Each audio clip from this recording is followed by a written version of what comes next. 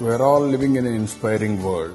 Today, information technology with IoT and also knowledge based economy.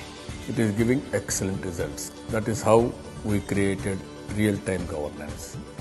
It's a marriage between technology and administration. Doing the workflows in the field, integrating that into a RTG solution, and this is done to ensure that governance goes to the last mile. Common man is our customer to serve the citizen. That is very, very important. The primary focus is the last man out there and how technology can work for them. We are bringing in one platform all departments. In ease of governance, we are number one. Hitachi was helpful. We could bring in this center in the shortest possible time.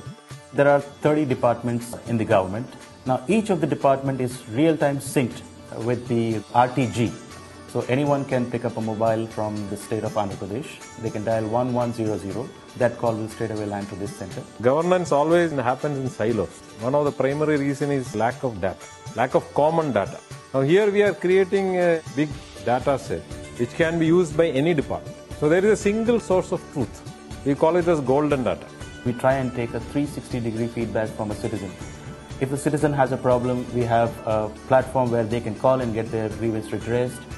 In case of a weather alert, if be a storm, heat wave, high rainfall alert, we try and reach out to all the officials in that place to warn them that another 30 minutes time you're likely to have a heavy thunderstorm. We act as another catalyst towards ensuring that we save lives of the citizens.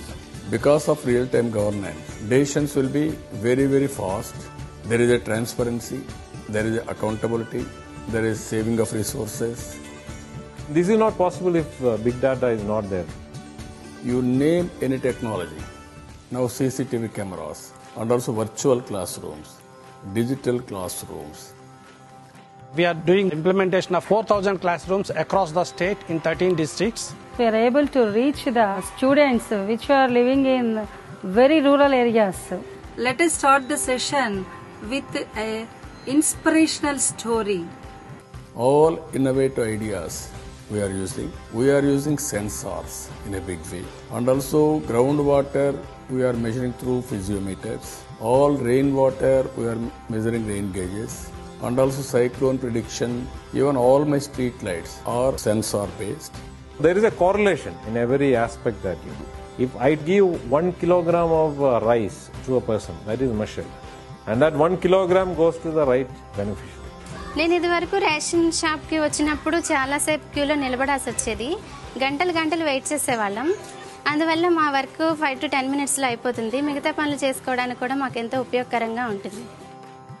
Where data is missing or where there is no work flow no automated system it's impossible to do that India is signatory for sustainable development goals with United Nations I want achieve by twenty twenty two 100% what they prescribe to achieve in 2030. Andhra Pradesh will be number one in terms of development and also with happiness index. Who are the richest people in the world? You know, I feel that they are the people